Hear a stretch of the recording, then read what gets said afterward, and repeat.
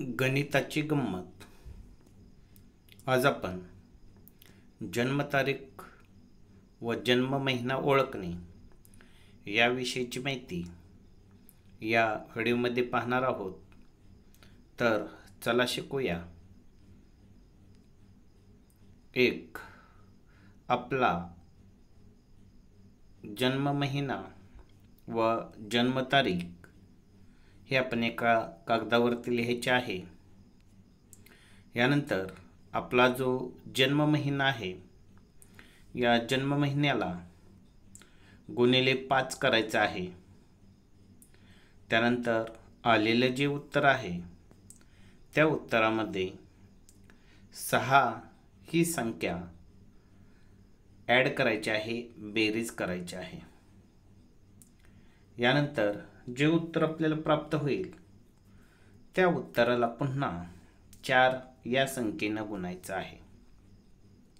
हा गुणाकार केल्यानंतर जी संख्या येईल त्या संख्येत आपल्याला नऊ ही संख्या मिळवायची आहे. यानंतर जे उत्तर येईल त्या उत्तरामध्ये आपली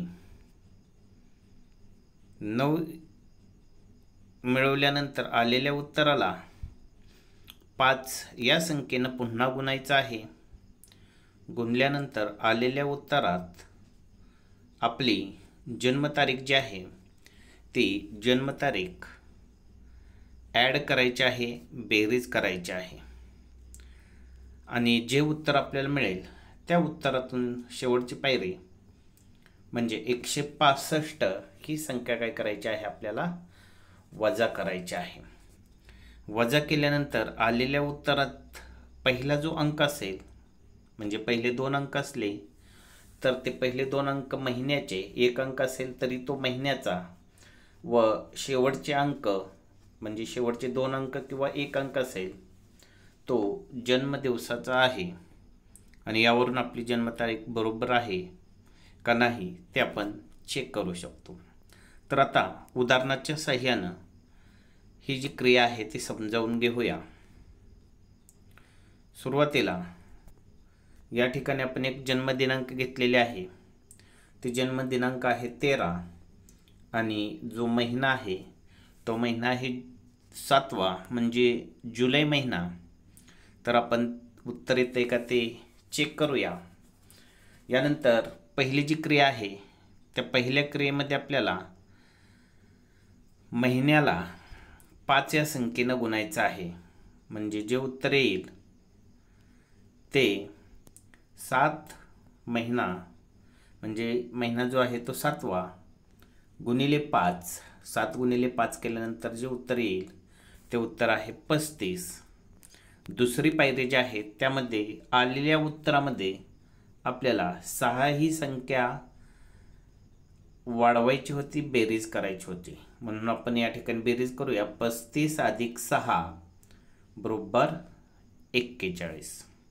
यानंतर पुढची जी पायरी आहे त्या पायरीमध्ये जे उत्तर आलेलं आहे आपलं त्या उत्तराला पुन्हा आपल्याला चारनं गुणायचं आहे. म्हणजे आलेलं जे उत्तर होतं ते एक्केचाळीस आणि एक्केचाळीस गुणिले चार चार एक्के चार आणि चारी चोक सोळा म्हणजे जे उत्तर येईल ते असेल एकशे चौसष्ट. यानंतर जे आपल्याला उत्तर मिळालेलं आहे त्या उत्तरामध्ये आपल्याला नऊ ही संख्या वाढवायची होती. म्हणजे एकशे चौसष्ट अधिक नऊ बरोबर जे नवीन उत्तर येईल ते आहे एकशे त्र्याहत्तर. यानंतर पुढची जी पायरी आहे त्या पायरीमध्ये आपल्याला पाचनं पुन्हा गुणाकार करायचा आहे. म्हणजे एकशे त्र्याहत्तर म्हणजे आलेलं जे उत्तर एकशे त्र्याहत्तर होतं त्या संख्येला पाचनं गुणूया. म्हणजे जे उत्तर येईल ते असेल आठशे पासष्ट. जे उत्तर आहे ते आठशे पासष्ट. आपली जी जन्मदिनांक होती ते होते तेरा. म्हणजे आठशे पासष्ट अधिक तेरा म्हणजे आठशे अठ्ठ्याहत्तर. हे आपलं उत्तर येईल. त्यानंतर शेवटची पायरी होती की त्या संख्येतून आपल्याला एकशे पासष्ट ही संख्या वजा करायची होती. तर या ठिकाणी आठशे अठ्ठ्याहत्तर वजा एकशे पासष्ट म्हणजे आलेले जे उत्तर आहे ते सातशे तेरा. या ठिकाणी सुरुवातीला सांगितलेल्या पद्धतीने पहिली पहिला जो अंक आहे तो पहिला अंक हा महिना आहे. पहिला अंक जो आहे तो महिना. आणि शेवटचे जो दोन अंक आहेत ते आपली जन्मतारीख आहे. म्हणजे सुरुवातीला आपण जी तारीख घेतलेली होती त्यामध्ये जन्मतारीख जी होती ती होती तेरा आणि जो महिना होता तो होता सातवा म्हणजे जुलै महिना. तर या पद्धतीनं आपल्याला आपली जन्मतारीख आणि जन्म महिना काढता येईल.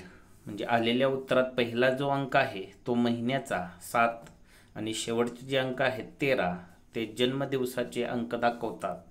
अतिशय